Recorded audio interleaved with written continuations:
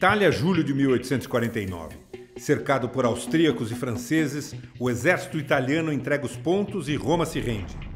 Mas o comandante das tropas, Giuseppe Garibaldi, não aceita a rendição. Contra tudo e contra todos, junta quase 4 mil homens dispostos a morrer pela pátria e deixa a cidade para enfrentar 40 mil inimigos. A seu lado, sua mulher, a brasileira Anita. Eles se conheceram há 10 anos em Laguna, no litoral de Santa Catarina. Ao saber que a República Italiana estava com seus dias contados, Anita deixou para trás os três filhos pequenos para juntar-se ao marido no quartel-general de Roma. Quando ele convocou os italianos dispostos a seguir a luta, Anita cortou o cabelo, trocou o vestido pelo uniforme de soldado e voltou a ser uma guerrilheira em fuga, viajando de noite e se escondendo de dia junto ao pequeno exército comandado por seu companheiro.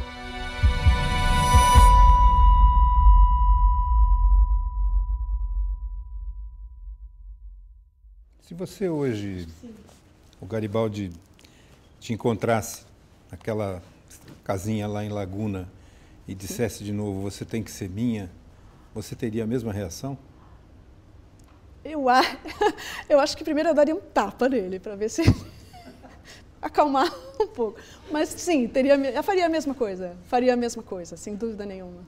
Você sem tem medo da nenhuma. morte?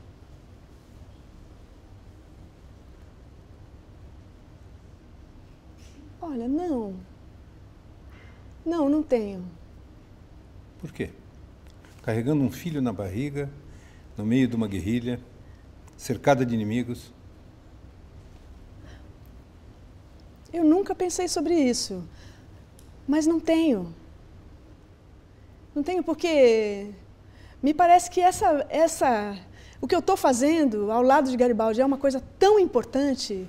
Isso me, me, me faz tanto sentido, me faz sentir uma pessoa tão importante que que está mudando tanta coisa que não serve mais, assim, que eu acho que talvez se eu morrer amanhã, a, a vida que eu tive curta, de 28, 29 anos, digamos assim, é muito mais do que a vida da minha mãe inteira, mais a da minha avó e mais a do meu pai junto. Porque o que eles fizeram? Eles ficaram se debatendo com, a, com as condições de vida. Eu não, eu vi tanta coisa, tenho tanta coisa para ver ainda.